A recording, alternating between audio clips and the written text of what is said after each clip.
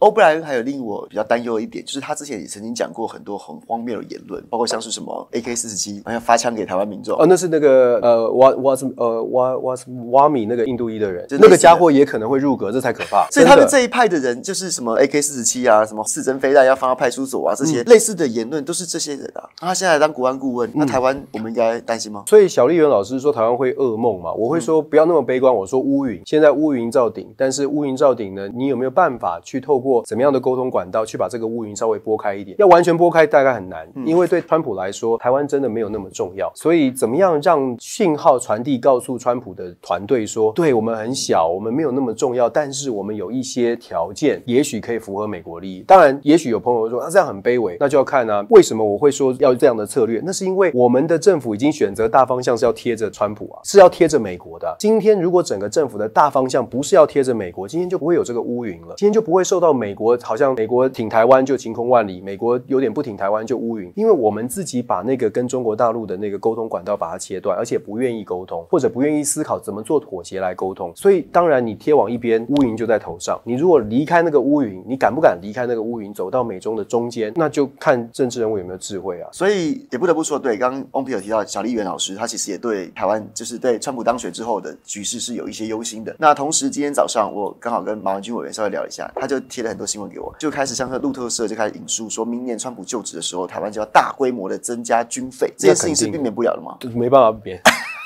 我们就说，我们现在开始在川普的执政之下，我们都用最简单、粗暴、有效的方式来跟台湾的民众来做分析。因为我觉得讲的太婉转了，大家听不懂。然后呢，政府可能也不理解。我觉得，因为我坦白说，我跟共和党的关系还不错，就是很多好朋友啦，只能这样说吧。所以我直接接受到的讯息就是告诉我们说，该做的就是要做。但是他们认为该做的，坦白说，我觉得美台湾是吃不消的。光是我听到他们认为台湾要做的，台湾根本吃不下去。可以在可以透露的范围之内，可以帮我们举例吗？当兵啊，当兵一年不够的、啊。嗯，军备预算他说五趴，这位先生说五趴，基本上你听到共和党的所有的朋友都说没有三趴以上是不可能的。我们现在才二点四五，政府要不要告诉民众说我们现在在面对这样的情况？我们其实政府啊，应该现在的执政党政府既然要走这个亲美路线，那现在是这个时候啊，就勇敢的跟朋友们讲说，因为川普总统上台了，所以我们大家要正视这个必须要提升到三趴的问题。那我们的国防预算会增加很多，但是我们的其他预算一定会被压缩嘛，这是事实，就是不用遮遮掩掩的说啊，不会不会不会，台美关系很好。对呀、台美关系很好，我说了，美国队长一样保护台湾，但是收费变高了，你要把这个事实讲给大家。而且我们提高军。费也不是，这也许我觉得台湾民众也不见得百分之百反对。可是那你要卖我们好东西啊，你不能卖了一些烂东西，叫我们一直一直好缴钱啊。这是好问题。卖好东西还是坏东西？川普会不会卖给我们？比如说 F 三十五等等的。川普要卖给我们什么东西，完全取决于川普觉得要跟北京谈出什么样的 deal。我会说，川普接下来在半年、一年之内一定会跟习近平见面。川普一定会提出一个 great deal，就是一个大交易。这个大交易，这个 proposal 会提出来，习近平要不要接受？川普会看习近平或者是北京的反应来决定要卖台湾什么。所以不是美台关系，是美中关系中的台湾议程、台湾议题。从来都不是，其实台湾从来都不是主议题，台湾从来都是美中关系当中的子议题。我们要诚实啦，要诚实的面对这种现实的困境，然后再加上是，既然我们决定要选择站在美国这一边，我要再次强调，这是台湾人民选择赖清德总统就已经选择了台美关系上、美中台关系上，我们要紧贴美国。那紧贴美国的结果就是美国出现什么样的变化，我们一定要承受的。我们刚刚前面讲了说军费，那看起来应该是就是增加，增加到什么程度？那我们可以换到什么样的，比如说买到好的武器吗，或什么的？那另外一个议题就是台积电晶片产业，川普一直拿这个来诉求他的选民。那选后真的，比如说会把我们整个产业链更进一步的整条搬走吗？还是怎么样？会啊，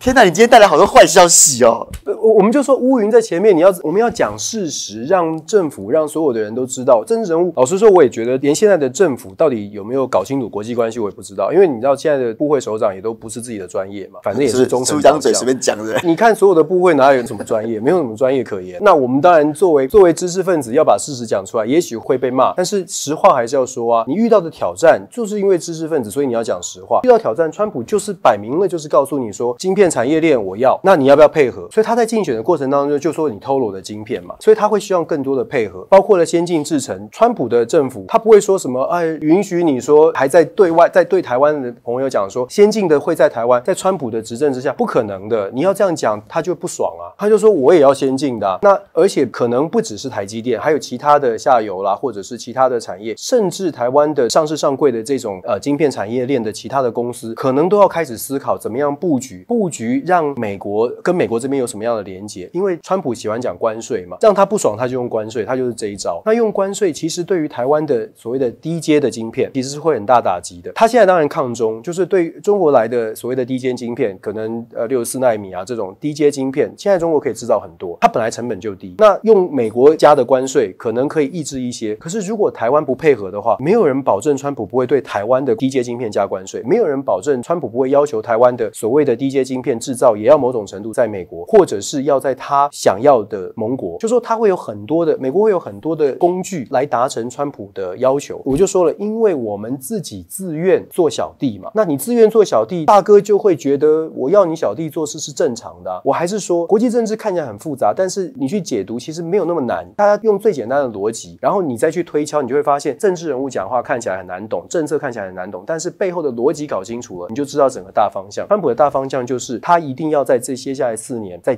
经济上面获利，不然他所谓的让美国再次伟大，川普的伟大就是赚钱，川普的伟大不会是打仗，不是价值，是价格。对，不是价值是价格，而且川普绝不打仗。所以好了，呃，今天的那么多的负面消息，有一个好消息就是呢，川普这四年保台湾四年不会打仗。